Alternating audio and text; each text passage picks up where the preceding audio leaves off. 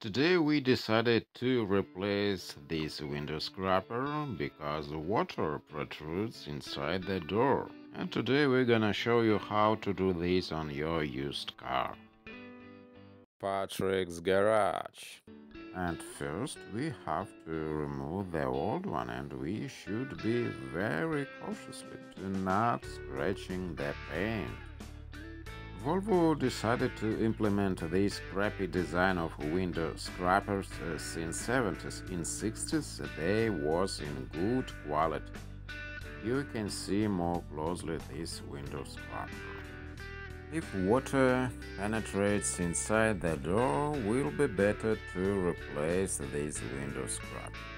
But you never can avoid wetness inside the door for 100%. Water always protrudes from the side window inside the door room. But we must to do this minimum as much as it possible. And you know, door panels very often suffer from penetration of water inside the door. So from these problems, owners of classic car have to replace door cards. Now we need to, to disconnect window from rolling mechanism to get access for our window scraper. You know this uh, side uh, window seal consists of two parts. Here is securing clips of our side window so you don't want to lose them. We don't want to brush it aside because we need a good working access. You need gloves anyway because this mechanism always greased. And here you see parts which we removed. We're not going to remove uh, glass out of the door completely. We just want to disconnect it. Maybe we can skip a glass disconnection albeit uh, work can be accomplished with uh, additional difficulties. In Volvos from 60s, there is no any problems with window scrappers. Volvos since 70s really shoddily made cars. And when they're badly treated, they can't last forever. And since we have Volvo from 70s, we have incentive to take care of there should be additional roller to press uh, glass to the window scraper to not allow water to go inside the door. They not do them since 70s. They don't do what they supposed to do. Cars from 60s has all goodies that we've grown to love, but since 70s they decided to do cars more cheaper, and that not contributes to longevity and more hardly to save money by keeping old car forever, but we keeping car by taking great care of them. We can't revert our car for condition from 60s and this is not our purpose. Thing is that we not just quibble, they are really more crappy. Really shabby condition of this holder. Here is a window scraper for rear door so this is no longer and we can use this uh, window door scraper for the front door and it will be a waste improvement because they're more shorter than it should be. Apparently in 60s they were more better. So you can use from junkyard these window scrapers for the front side window. Probably in 60s was higher quality than in 70s. And in general, I think that Volvo engineers started to lose their marbles since 70s. It's patently absurd to do the window scrapers with this design. You can estimate their quality difference by a lot of things, and just simple window scrapers and we see their attitude to clientele. So they not put this central roller. This small wheel at the center pushed uh, the glass to the window scraper. So water can't protrude between them, between window scraper and window, window glass. I'm always found differences between car from 60s and car from 70s. And now I found out this that kind of pissed me off. And here remnants of old kind uh, glue, glue I suppose. A really stupid design. Now that's just their way to go. And obviously we still pissed forever with modern cars. When we was kids, we never envisioned that new cars will be crappier than the old ones. Here was installed this roller.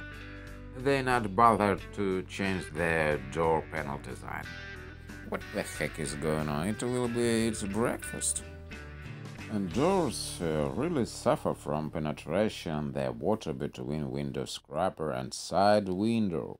Here you see I'm fixed it and we want to cut it so you can take it from another used car.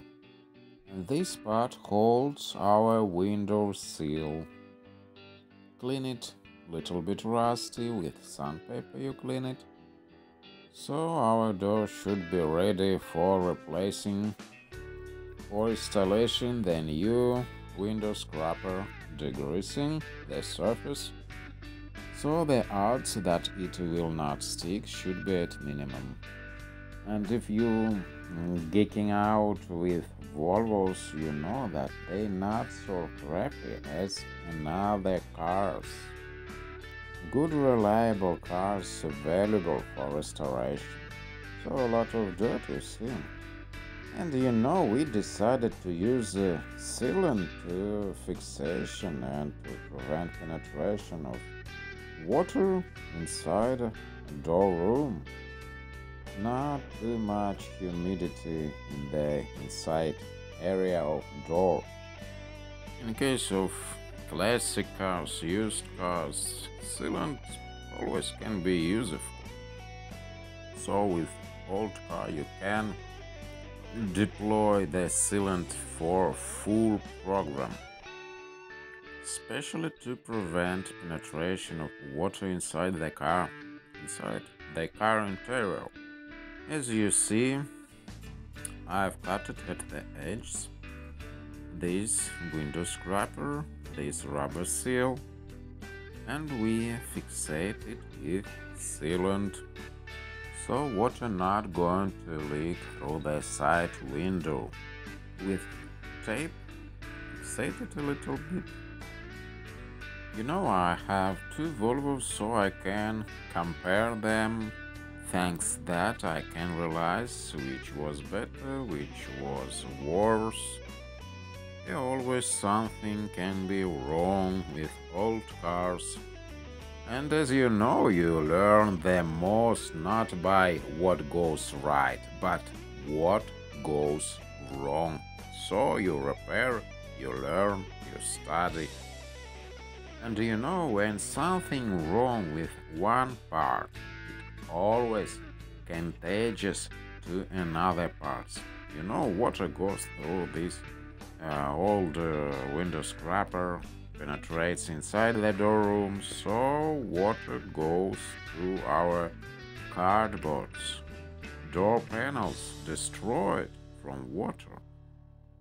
And when door cards sweaty, you get horrible smell inside the car. And with this perseverance, we want to stop water leaks inside the car interior, we hope. Here we little bit squeeze, here is you know metal inside and we want to squeeze it, not to squash it too much, so sealant goes out. So you see nothing difficult you can gladly do this work yourself. And main thing to prevent uh, detrimental effect from penetration water through the side glass through the this window scraper. So we have to use to that. Uh, Volvo since 70s have a lot of curves and in a lot of cases we have to redone a lot of now, things. truly say I'm really satisfied by, by this work. And let's hope that water not will leak too much inside that door. Now, thanks for watching. Talk to you soon again.